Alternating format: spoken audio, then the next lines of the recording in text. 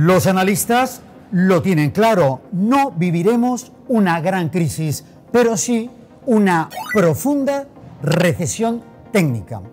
La Reserva Federal de los Estados Unidos de Norteamérica ha detectado, fíjense, en uno de los indicadores que habitualmente utiliza para medir el nivel de alerta económica, que las cosas se complicarán en aquel país, sobre todo a finales de año. ¿Debido a qué? Pues debido por un lado, a la discrepancia que hay entre el rendimiento de los bonos del Tesoro a corto plazo, que verán la luz, que serán emitidos en 18 meses, con respecto a los actuales que tienen como fecha de vencimiento tres meses. Esa discrepancia entre estos dos elementos ha llevado a alertar a la Fed de que sí que habrá recesión técnica al menos en un 99,3%.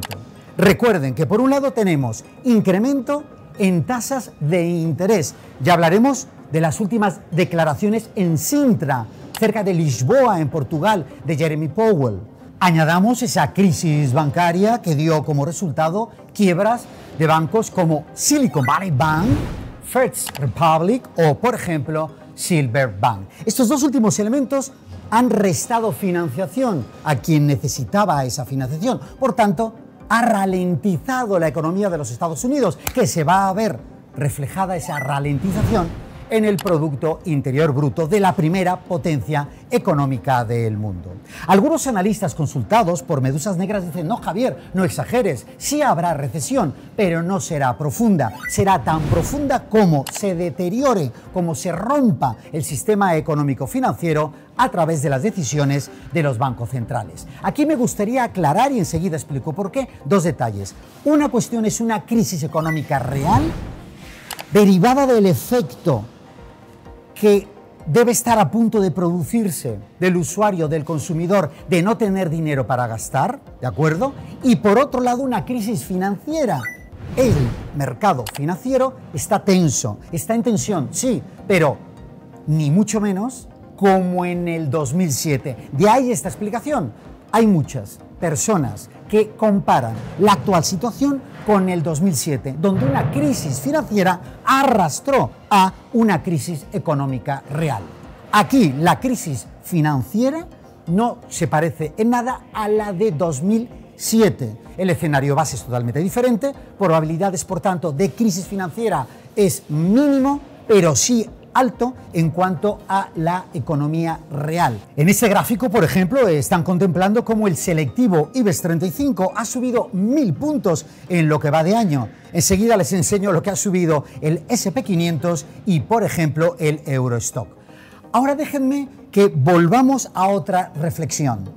Si nos vamos a los datos cíclicos, estos nos arrojarían también esa recesión profunda.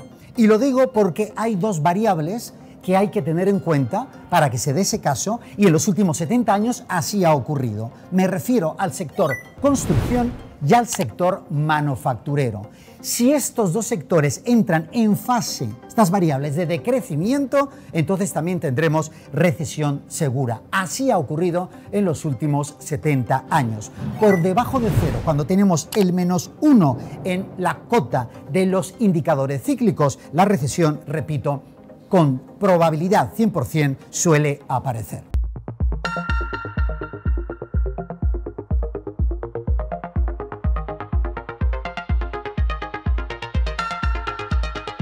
Buenos días, buenas tardes, buenas noches, dependiendo del rincón del planeta Tierra en el que hoy hayan decidido seguirnos en una nueva entrega de Medusas Negras de este su canal de YouTube, Estrategias de Inversión. Acompañándoles ya en nombre de todo el equipo que les habla, Javier Castro, y a mis espaldas, el parque madrileño. Ese es nuestro decorado permanente de la bolsa más importante del Reino de España. Un parque madrileño que refleja signos y guarismos positivos en todos los indicadores del planeta Tierra. ¿Por qué entonces hoy encargar a Daniel Taylor, el sastre de los gráficos, un informe sobre recesión, sobre caídas de mercados?